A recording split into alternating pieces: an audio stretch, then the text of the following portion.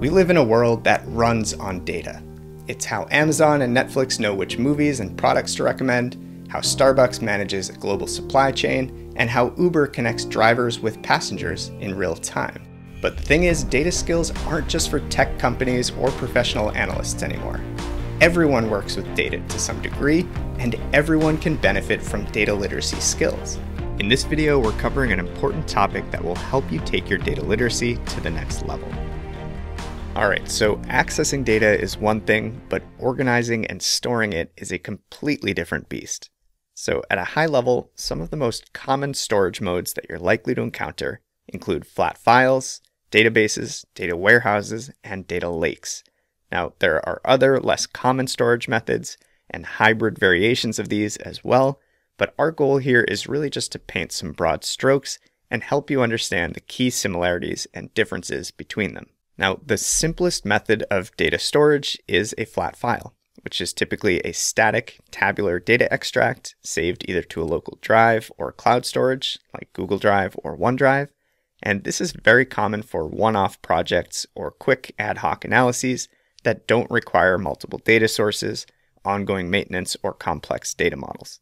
The most common types of flat files you'll see are CSVs and Excel workbooks.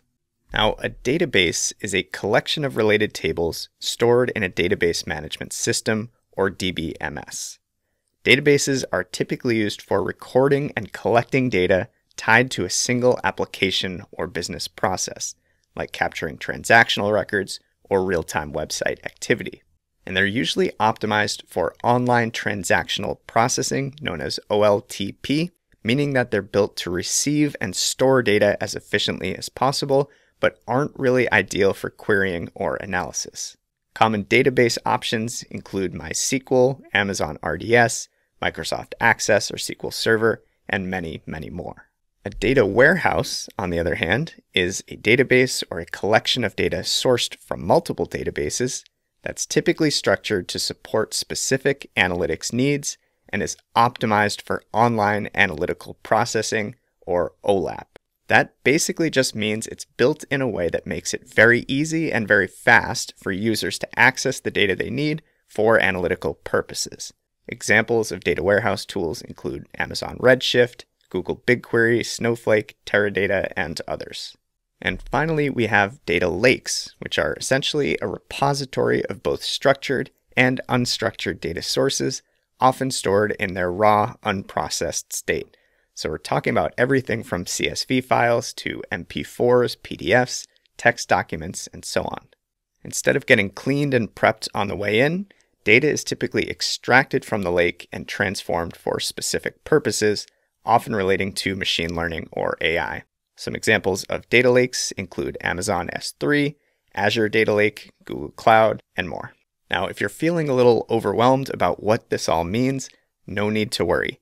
I've worked in data analytics and business intelligence for over 15 years, and I still get confused by this stuff. The good news is that unless you plan to become a data engineer, it's extremely unlikely that you would be the one building or configuring databases or warehouses. In fact, in most cases, data engineers or architects are the ones primarily responsible for standing up these systems and building the pipelines and automations that help the data flow from one place to another. If you enjoyed this content and want to see more, we've got a brand new Data Literacy Foundations course, and it's entirely free. You can check it out at mavenanalytics.io. So, whether you're an individual looking to build confidence, a leader seeking to empower and upskill your team, or a data professional just trying to stay ahead of the curve, this is the course for you. We've got a lot to cover, so let's dive in.